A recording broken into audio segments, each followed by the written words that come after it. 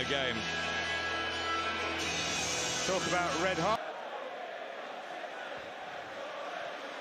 Sancho in for and it comes for Jadon Sancho. Still Sancho, cool as you like. Done with ice in his veins, and it's no more than Manchester United deserve. And Liverpool are 1 0 down again.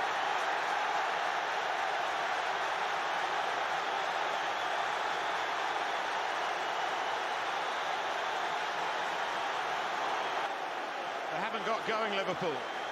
1 0 and, and fully deserved. Should Virgil van Dijk be coming out to him? That's what Oh, James it's- Milner If you analyse Van Dijk here, it's.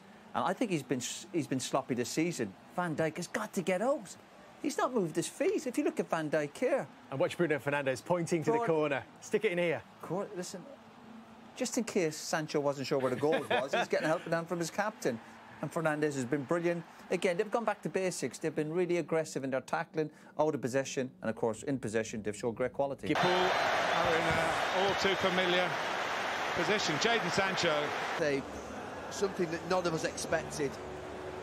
But anybody who doubted that these Manchester United players could perform at a level, they're playing against a fantastic Liverpool team. We're going to see Martial in this second half, who's obviously had a very good pre-season, then got injured.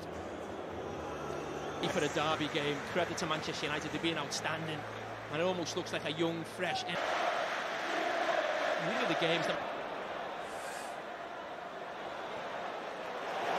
early on, 16th minute goal.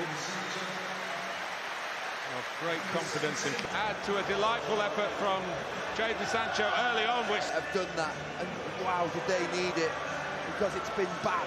He made some big calls. He made some changes, leaving out Maguire, which is a huge call. Obviously, Ronaldo. Seven to ten days.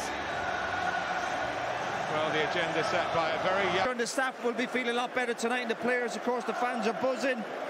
Big, big boost.